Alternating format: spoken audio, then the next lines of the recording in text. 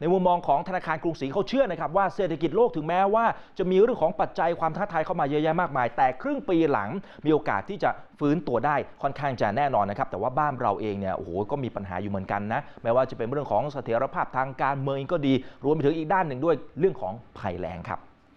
เป็นการเปิดเผยจากนั้นของคุณสมประวินมันประเสริฐครับ ผู้ช่วยกรรมการผู้จัดการสายงานวิจัยธนาคารกรุงศรีอยุธยาเนี่ยท่านบอกงี้นะครับ ท่านบอกว่าเศรษฐกิจไทยในปี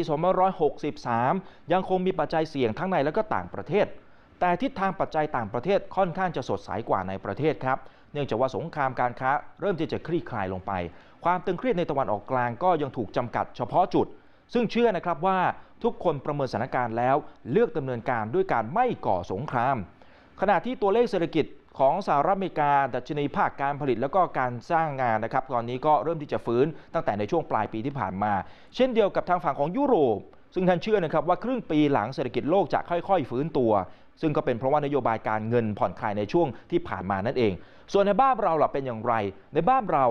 มีหลายปัจจัยเสี่ยงที่ ทางด้านของดรสมประวินเนี่ยบอกว่าโอ้โหน่าเป็นห่วงเหมือนกันนะไม่ว่าจะเป็นเรื่องของปัญหาการเมืองในประเทศนะครับเดี๋ยววันนี้ต้องติดตามเรื่องใหญ่ด้วยนะครับ นอกเหนือจากนี้ก็มีเรื่องของภัยแล้งตัวเลขการชะลอตัวทางเศรษฐกิจนะครับก็เลยทำให้เกิดคำถามว่าเอ๊ะประเทศไทยจะฟื้นตัวไปพร้อมกับเศรษฐกิจโลกหรือไม่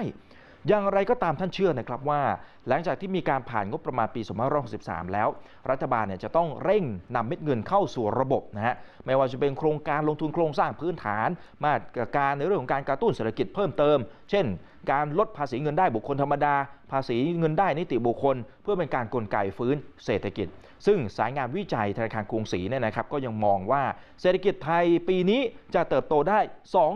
2.5%และ ก็มีแนวโน้มนะครับว่าจะเกาะกระแสเรื่องของการฟื้นตัวของเศรษฐกิจโลกในช่วงปี 2021 ไปฟังเสียงดรสมประวินครับ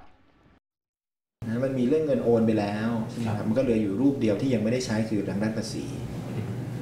ผมก็ยังมีความคาดหวังอยู่เหมือนเดิมว่า มันน่าจะเป็นรูปแบบทางด้านภาษีออกมา มันมีเงินโอนใช่ไหมครับมันมีการใช้จ่ายการใช้จ่ายรัฐทำแล้ว ก็คือพยายามลงทุนนะซึ่งมันทำมันมันถูกอะคืออยู่ไม่ได้ใช้แบบใช้แล้วหมดไป แต่ว่าอยู่ใช้จากการลงทุน อีกอันหนึ่งก็คือกระตุ้นผ่าน